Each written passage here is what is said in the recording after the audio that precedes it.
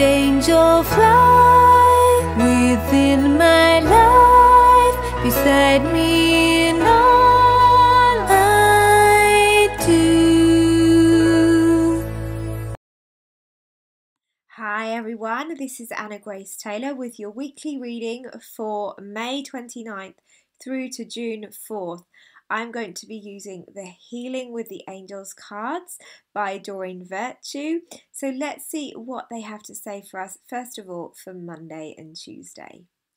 All right, so here we go. Ooh, beautiful card this Monday and Tuesday.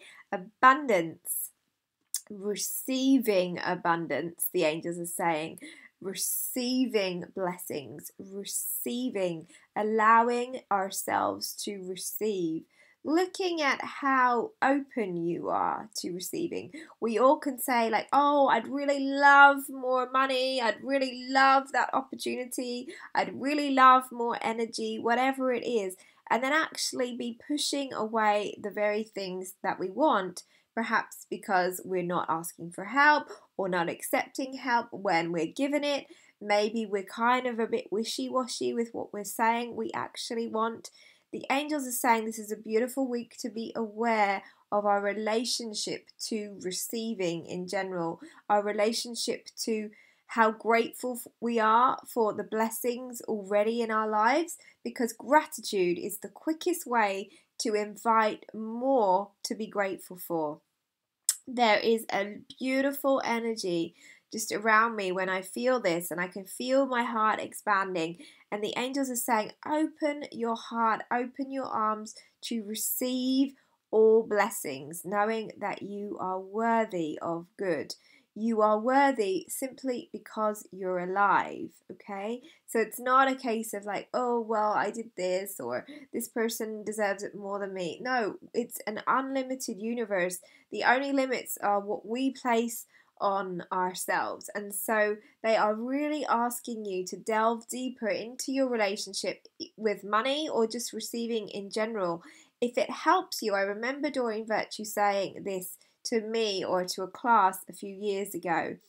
And that is, I deserve to receive because I deserve to give more. I want to give more. And so, therefore, in order to do that, I I allow myself to receive because really we can't give what we don't have. And so we have to allow ourselves to receive in order to be good givers, right? So that really changed my perspective on receiving because I can't be there for someone or I can't support someone if I'm also not taking care of myself. Okay, so that's a beautiful card for the beginning of the week. All right, so this is really interesting spiritual growth. Now, it could be very related here because I know that for many people that I speak to on this path of, of deeper awareness, no one's more uh, spiritual than another person. It's just that some of us perhaps are more aware that we are spiritual beings. And, and money is a big one, abundance is a big one, receiving is a big one. We can be like, oh, you know, is it okay for me to have more? You know, perhaps I just want to focus on service again without repeating the message. If you want to be of service, there is no point blocking yourself from good things because actually, if you have an abundance of time, of energy, of support, of money, of opportunities, then of course you're going to be more able to give. If that is not your issue, if you are a good receiver and you don't have issue with that, perhaps just looking at the lessons going on in the middle of the week, really trusting that if you're finding yourself in a pattern, if you are having a challenging time, if you are really not understanding why something is happening, the angels are saying, trust, it's all part of your spiritual growth. Not that we have to suffer at all to grow, but really looking at, okay, so this isn't working for me. What is this showing me? How can I actually be more of who I am, which is joyful, which is peaceful, which is um, more loving to ourselves and each other, which is abundant, which is which is um, compassionate, um, really relaxed, all of the natural states that we have as divine beings. How can I bring more of that into my life, or rather, feel more of that? And if we're feeling the opposite of that, it's where our growth comes in because really all of this human experience is, is really asking us to go deeper within ourselves so that we can use this human experience to really remember who we are, who the truth of us is, despite having this human experience which we can really enjoy, we can really have so much variety from. It's not saying that our human self is is less than the, the, the spiritual self, it's just that the human experience is an experience. Our growth, our spiritual growth, comes from a multitude of uh, lessons, of experiences, of va- varied degrees of feelings and emotions, and all of that. And when we come here to have this life, we come here to grow, to learn. So just be aware, middle of the week, what your lessons are right now. Is it receiving? Is it being more grateful? Is it really um, breaking a pattern that you've been in a long time? Is there something that's challenging because you're making it challenging? Is it time to let go? Is it time to move forward? Just really bear all of that in mind. The angels are obviously asking me to talk to you in lots of questions today because there's just lots of reflecting going on as I'm talking. Just really asking yourself to go deeper this week about what is really happening in your experience and trusting that it is part of being more of you.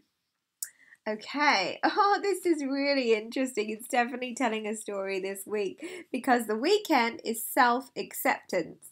Now, to me, there is no greater lesson, there is no thing, there is no uh, feeling that is more connected to our experience of life than self love and our self acceptance. Because if we truly accepted ourselves as we are, then of course we wouldn't have any problem receiving. We wouldn't have any problem just saying, Yes, I'm going to live the life that I really want to live.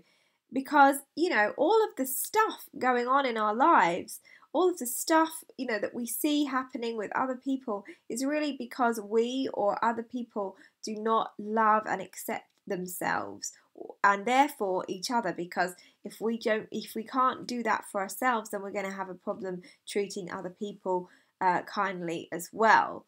So this is a big opportunity for us to see our receptivity our growth our learning as a a whole big part of the same thing of accepting ourselves as a divinely human being, which means we don't have to be perfect humanly because we're already perfect in a divine way. So the angels once said to me that self love is remembering that we don't have to be perfect as a human being because as a divine being we already are. So it's remembering that truth, remembering and, and realizing that we don't have to kind of have it all figured out. And that's part of self acceptance as well. It's not about kind of bypassing all of the human stuff. It's just saying, wow, okay, I'm having this experience today. Oh, wow, this is something that I can really have compassion for for myself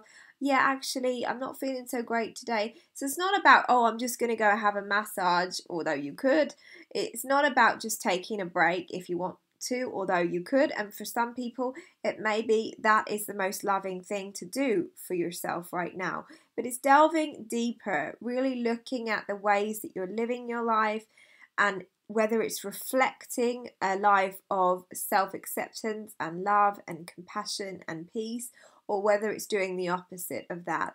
And something I found really helpful is to just have a couple of my friends be those people that I remember when I'm having that kind of wobbly moment or challenging day. And the angels said, you know, think of that person. Think of that person that you really, really love, that you really would want the best for and and ask yourself would I really treat them that way? Would I really say that to them? Would I make that choice for them?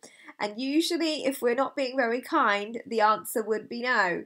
So they are asking us to remember that when we're making our choices this week so that we can more deeply love and accept ourselves and therefore then make choices for our highest good. Okay, so sending you all lots of love. I will speak to you again next week with another reading. In the meantime, be kind to yourselves and each other. Much love. Bye bye.